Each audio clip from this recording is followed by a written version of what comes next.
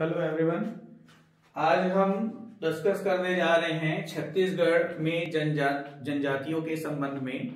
तो छत्तीसगढ़ में जनजाति के ऊपर हम पहले विस्तार से चर्चा करेंगे और उसके बाद फिर लोक कला संस्कृति में लोक, नाट्य, तीज, त्योहार वगैरह की तरफ़ आगे बढ़ेंगे। ध्यान दीजिएगा, इस पूरे सेशन में जिन भी चीज़ों के ऊपर हम डिस्कस करते हैं यहाँ से जो छत्तीसगढ़ के 50 प्रश्न आपके आते हैं तो उसमें से कम से कम 15 से 20 प्रश्न जो हैं, यहाँ से आते हैं। और उस 15 से 20 में से लगभग 10 प्रश्न जो हैं, आपको पहले परीक्षा में पूछे जा चुके हैं, वो रिपीट होते हैं। आधे से ज़्यादा जो है, पुराने क्वेश्चन ही रिपीट होते हैं। फॉर्मेट थोड़ा अलग होता है। तो आराम से डिस्कस करते हुए इसकी तरफ़ हम आगे बढ़ेंगे।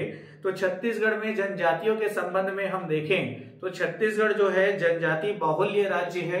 मतलब कि राज्य की कुल जनसंख्या का, राज्य की कुल जनसंख्या का तीस दशमलव छ दो प्रतिशत, ध्यान दीजिएगा, राज्य की जो कुल जनसंख्या है, उसका तीस दशमलव छ दो प्रतिशत जो है जनजाति है अनुसूचित जनजाति है। राज्य की कुल जनसंख्या का तीस दशमलव छह दो प्रतिशत क्या है? अनुसूचित जनजाति है।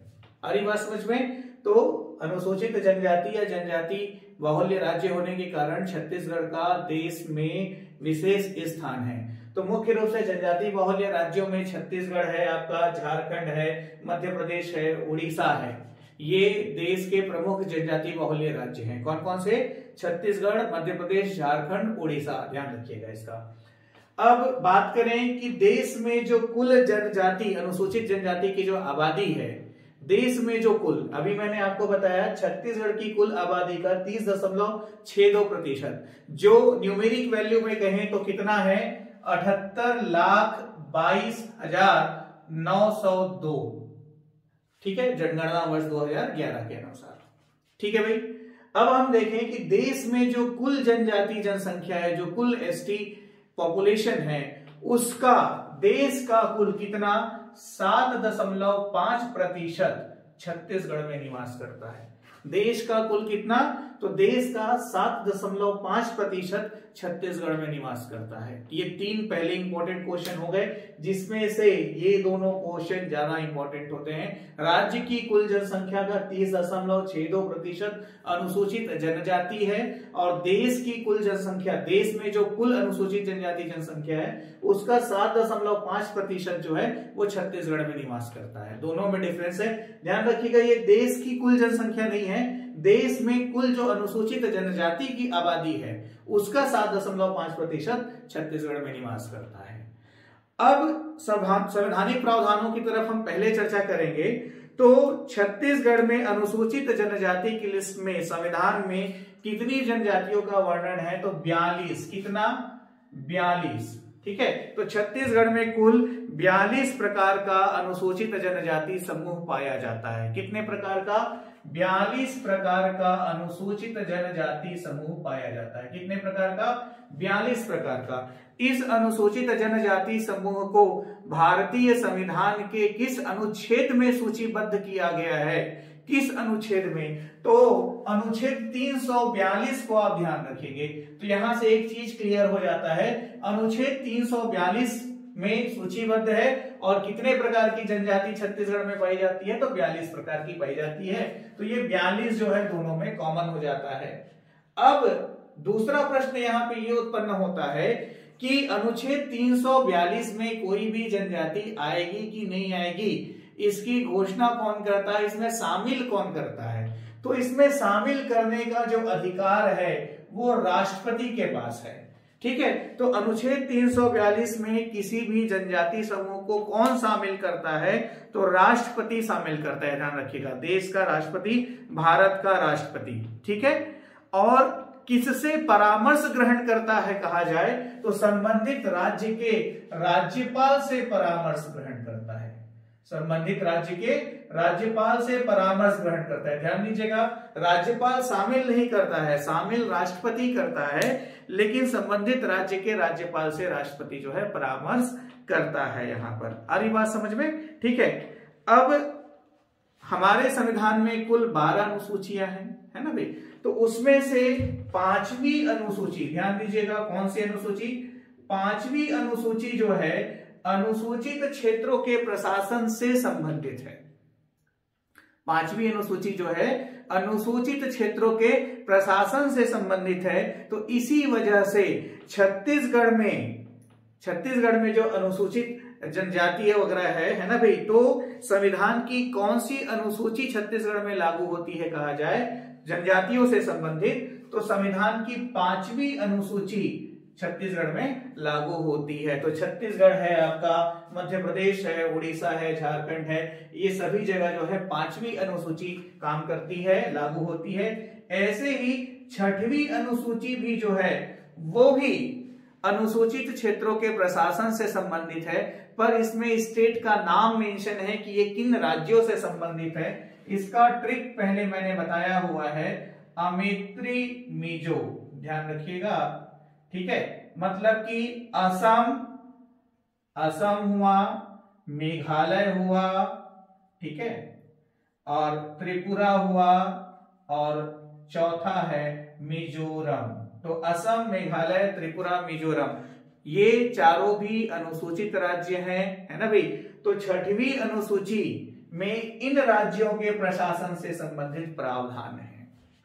तो पूछा जाए कि अनुसूचित क्षेत्रों से संबंधित कौन सी अनुसूची छत्तीसगढ़ में लागू है? तो छत्तीसगढ़ राज्य में संविधान की पांचवी अनुसूची लागू होती है। ठीक है? तो ये सब महत्वपूर्ण तथ्य है परीक्षा के दृष्टिकोण से। फिर इसमें पूछा जाए, अनुसूचित क्षेत्रों में राज्य में सबसे ज़्यादा किस जनजाति की आबादी है? तो सर्वाधिक, दो चीज़ें यहाँ पे देखते हैं। आबादी, जनसंख्या के आधार पर मैं आपको बता रहा हूँ। तो सर्वाधिक कौन सा है? तो गोड़ जनजाति है। तो न्यूनतम न्यूनतम कौन सी जनजाति है? तो वो सोर है, ध्यान रखिएगा। तो सर्वाधिक आबादी किस जनजाति की है? गोड़ की है और न्यूनतम किसकी है? सोर की है। हरी बात समझ में? ये सारे महत्वपूर्ण तथ्य होते हैं परीक्षा के दृष्टिकोण से, ध्यान रखिएगा। अब इसमें पूछा जाए, राज्य छत्तीसगढ़ राज्य जनजाति अनुसंधान एवं प्रशिक्षण संस्थान कहाँ है? मैं रिपीट कर रहा हूँ। छत्तीसगढ़ राज्य अनुसूचित जनजाति अनुसंधान एवं प्रशिक्षण संस्थान। ठीक है भाई? तो छत्तीसगढ़ राज्य जनजाति अनुसंधान एवं प्रशिक्षण संस्थान। अनुसंधान एवं प्रशिक्षण संस्थान कहाँ है? तो ध्यान रखिएगा ये कहाँ है? तो ये रायपुर में है। कहाँ है? रायपुर में है। ये आपका वनडे एग्जामिनेशन के लिए अति महत्वपूर्ण प्रश्न हो गया। ठीक है?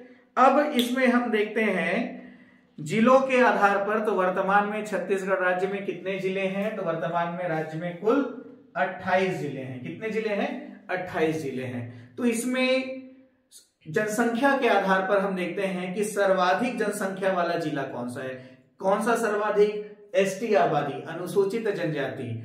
तो सर्वाधिक जनजाति जनसंख्या वाला जिला कौन सा है? तो सर्वाधिक जनजाति जनसंख्या वाला जिला है जसपुर। ये अभी असिस्टेंट प्रोफेसर के एग्जामिनेशन में पूछा भी हुआ है। तो सर्वाधिक जनजाति जनसंख्या वाला जिला है जसपुर। तो ये सर्वाधिक है। तो न्यूनतम कौन सा है? तो न्यूनतम है आपका बेमेतरा ठीक है? बेमेतरा ठीक है? अब इसको बोलते हैं, जैसे छत्तीसगढ़ में बोलते हैं ना, जाना। तो जाना को जाबे तो यहाँ से याद रख ले, रख सकते हो आप, जबे मतलब जाबे। तो जसपुर में मैक्सिमम आबादी है, बेमेतरा में न्यूनतम है। ये जनसंख्या के आधार पे मैंने आपको बताया।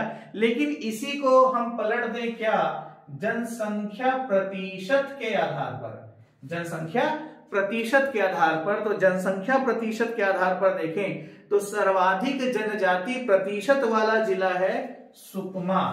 सर्वाधिक जनजाति प्रतिशत वाला जिला है सुकमा, ठीक है? और इसमें न्यूनतम है रायपुर, ठीक है? तो यहाँ से शब्द बनता है क्या? सूरा। ध्यान रखिएगा। तो यहाँ पे जाबे जाबे मतलब जसपुर और बेमेतरा जनसंख्या के आधार पर मैक्सिमम और मिनिमम। दूसरा इसमें हम देखें क्या? प्रतिशत के आधार पर तो मैक्सिमम है आपका सूरा मतलब सुकमा और रायपुर। ठीक है भाई? ये आपको ध्यान में रखना है। वनडे एग्जामिनेशन के लिए सारी चीज़ें बहुत महत्वपूर्ण है। इसके बाद हम देखते हैं, संविधान में ऐसे कौन कौन से आर्टिकल्स हैं जो जनजातियों से संबंधित है।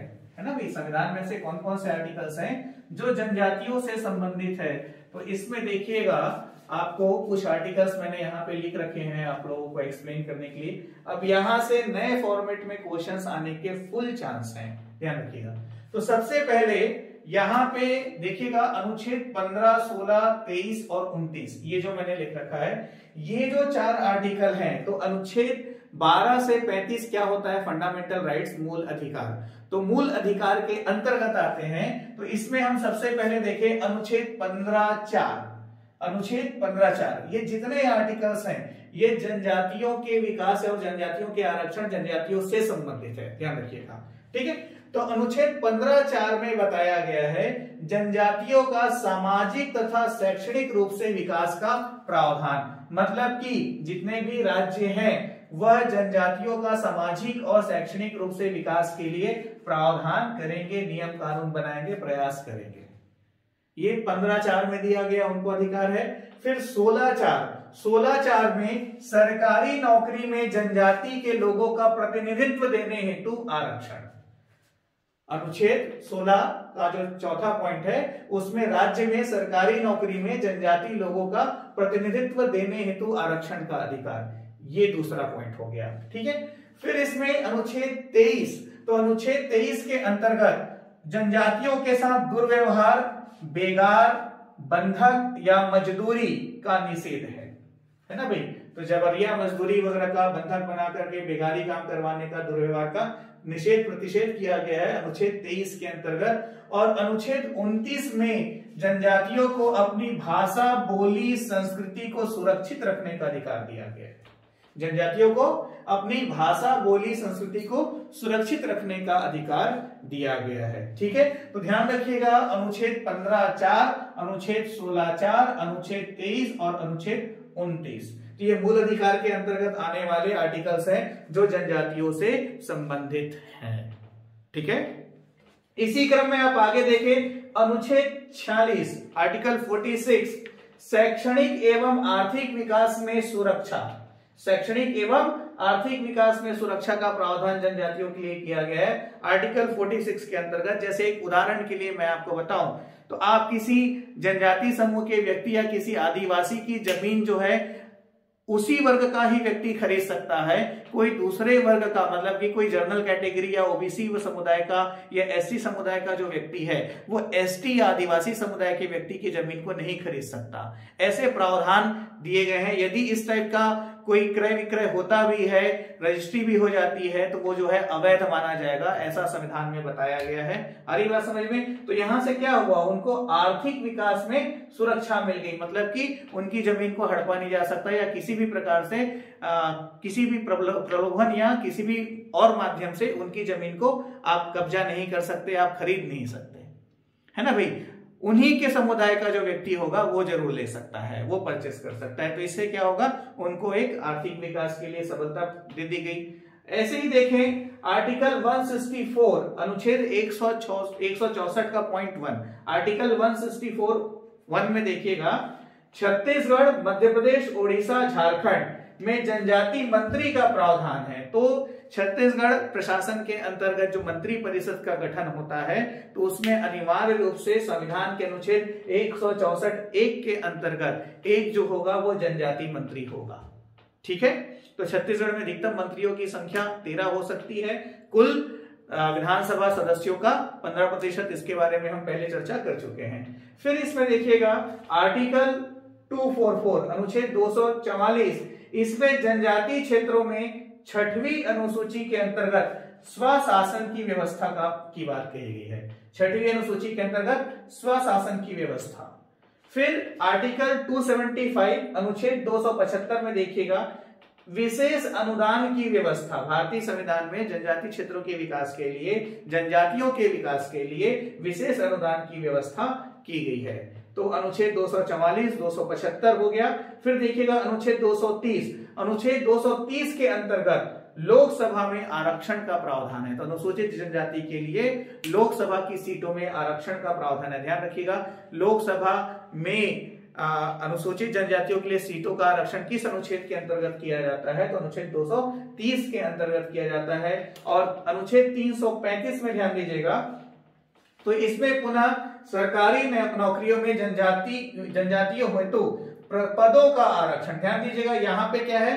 पदों का आरक्षण है, और यहाँ पे क्या कहा गया है? प्रतिनिधित्व देने हेतु आरक्षण है। दोनों में थोड़ा सा डिफरेंसेस है। तो आर्टिकल 335 भी यहाँ पर है। फिर अनुच्छेद 338 का में इसमें देखिएगा, ये 89 संविधान संशोधन से इसको जोड़ा गया है। 89 संविधान संशोधन से इसको जोड़ा गया है। आर्टिकल 338 में पॉइंट का जो है, इसके अंतर्गत राष्ट्रीय अनुसूचित जनजाति आयोग के गठन का प्रावधान है। किसका? राष्ट्रीय अनुसूचित जनजाति आयोग के गठन का प्रावधान है। आदि बात समझ में? अब इसका गठन कौन करता है? तो गठन करता है राष्ट्रपति और इसके अध्यक्ष एवं सदस्यों का मनोनयन भी कौन करता है? नियुक्ति कौन करता है? राष्ट्रपति नियुक्त करता है। ये भी ध्यान में रखिएगा।